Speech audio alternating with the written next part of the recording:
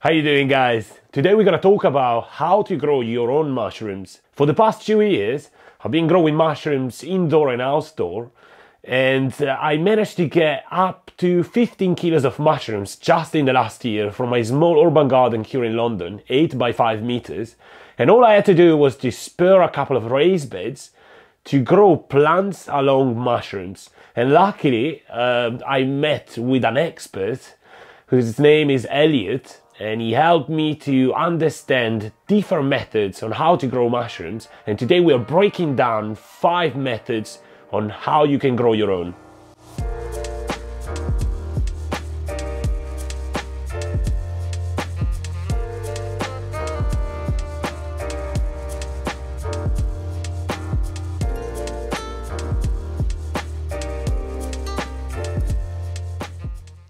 What's up guys, it's Elliot from Urban Farm It here and today I've been invited to East London by Alessandro and we're going to teach him how he can incorporate mushrooms in his urban garden. So the first method that we're going to talk about today is growing shiitake mushrooms on logs. So what I've got here is a metre long length of sweet chestnut. Generally, if you're talking about shiitake mushrooms or oyster mushrooms, any of the hardwood logs, oak, hornbeam, ash, anything like that is spot on. When you're selecting your hardwood log, it's really, really important that you choose something that's disease free and doesn't have any other mushroom mycelium living in it already. So the perfect log is one that was cut between two and six weeks ago. This is the sweet spot because before two weeks, the antifungal properties of the log are still active, but post six weeks, there, there may be too low moisture content in the log. Today we're going to be using shiitake mushroom plugs and these are literally small wooden dowels on which the shiitake mushroom mycelium is living. So we've chosen our log, we've chosen our dowels, now we're actually going to do the inoculation. As I mentioned before, on a one meter length, we probably want to use about 50 dowels. It's a very, very simple process. We're going to drill into the log using an 8mm drill bit and we want to go in at least as far as the dowel so in this case it'll be three to four inches. It's really important that the dowel fits in at least flush or below the level of the bark otherwise the wax won't seal properly and this will increase your risk of contamination and water loss.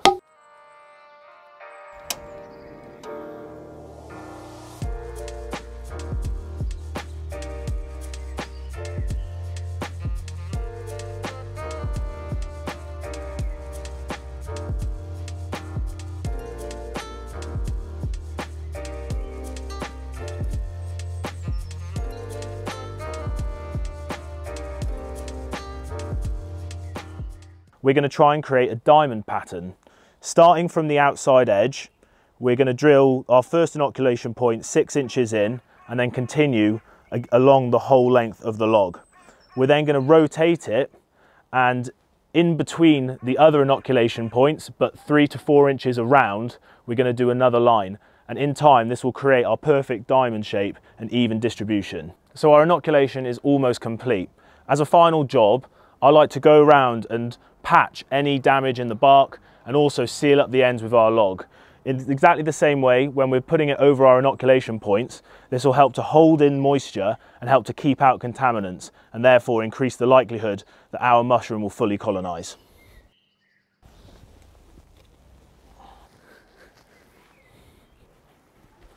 That's it, inoculation complete. Now what we've done is put the log in a quiet corner of the garden it's ideal really because it makes use of spaces where you otherwise wouldn't be able to grow your vegetable. We're going to try and treat this log a little bit like a shade loving plant and it'll stay somewhere shady and wind free. If needs be on a hot day, give it a little bit of watering, but other than that it requires no more maintenance.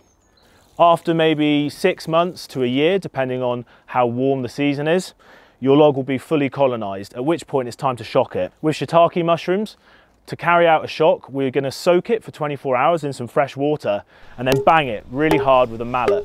This is amazing. It's an amazing adaptation of shiitake mushrooms in that they can sense when another tree has fallen in the forest because that then is the perfect time to fruit and release your spores. By providing this shock, you're imitating that process. Our next chosen method is to do an oyster mushroom bed grow. What we're going to use is the Mighty Winter Oyster. It's got the code 2191 on our website this is a really hardy mushroom that can produce all winter long and right through into the spring and the following autumn. It's a brilliant one because you can expect to harvest maybe five or six times in a year and it will be fruiting in any temperatures from 8 to 20 degrees. All a really brilliant all-rounder. With the shiitake mushrooms, it's the waiting man's game. You could be talking six months or a year before you see any fruit whatsoever. But with this method, you could be expecting harvest in as little as three weeks in the correct conditions.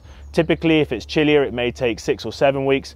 But as far as a quick turnaround goes, it's better than waiting all summer long for a tomato. Alessandro has very kindly given us pride of place in, a, in his, one of his main beds to devote to this method of growing, which is really fantastic.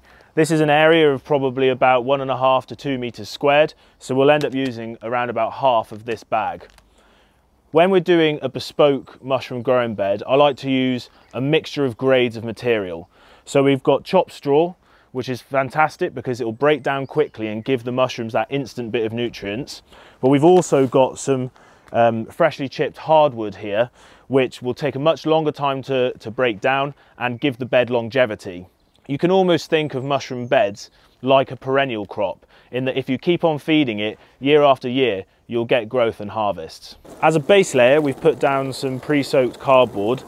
This is important because it acts as a weed barrier and on drier days will help to sort of hold some inherent moisture and might get you through the through the uh, the hottest parts of the year. Following that, we're then going to layer our material and spawn almost like a lasagna for the Italians amongst you. And we're just going to build it up and go deeper and deeper until we're at least six inches deep. There's no fixed order that you need to go by, but today I'm just going to start with straw, then a layer of wood chips, then a layer of spawn, and keep going all the way to the top.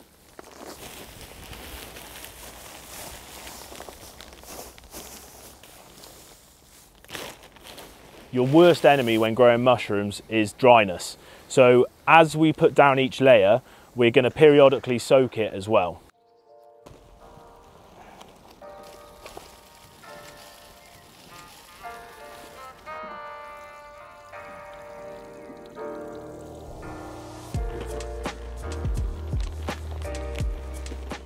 when you carry out your inoculation, you want it to be nice and evenly spread so that your mycelium runs through the material as quickly as possible and it will dominate any potential competing organisms.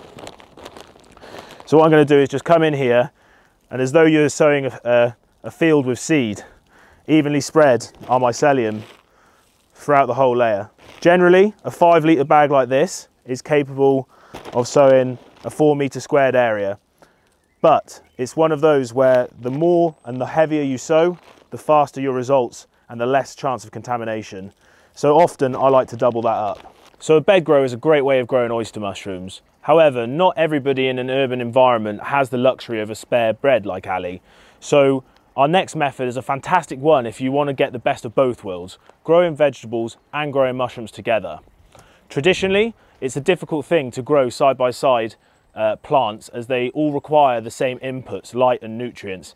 However, by including mushrooms in your mulch, you can effectively double your growing space. My preferred species of mushroom for that is wine caps. It's code 501 on our website. It's a super hardy uh, species of mushroom that can deal with exposure and also has lots of symbiotic properties with plants. By mixing mushrooms with your plants, you speed up the breakdown of materials such as mulches um, and wood chips and nutrients become available far more quickly. On top of that, even better, is it's fantastic forage for bees. So if you live in an urban environment, you can increase your pollination rate by incorporating mushrooms and mushroom mycelium. Incorporating mushrooms in a mulch follows exactly the same principles as when we're growing in a bed. We're gonna put down a material that contains lignin, such as straw or wood chip, and we're gonna keep it moist and add in our mycelium. It is literally that simple. One of our main focuses and trials as urban farmers is space efficiency. We've already seen that by incorporating mushrooms in our mulch, we can double up our growing space if you're talking about beds, but we can take it to another level and optimize literally every nook and cranny in our gardens.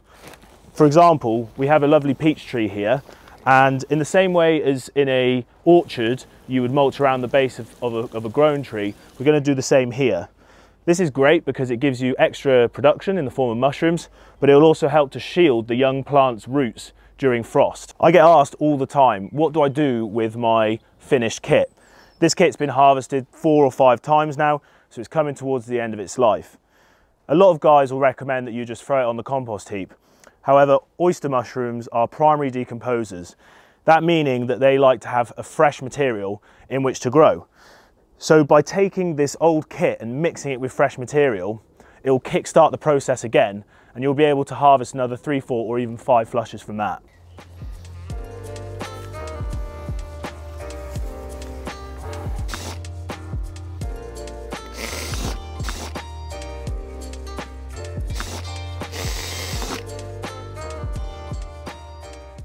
So that's it, five methods to grow mushrooms in an urban garden in a space efficient way.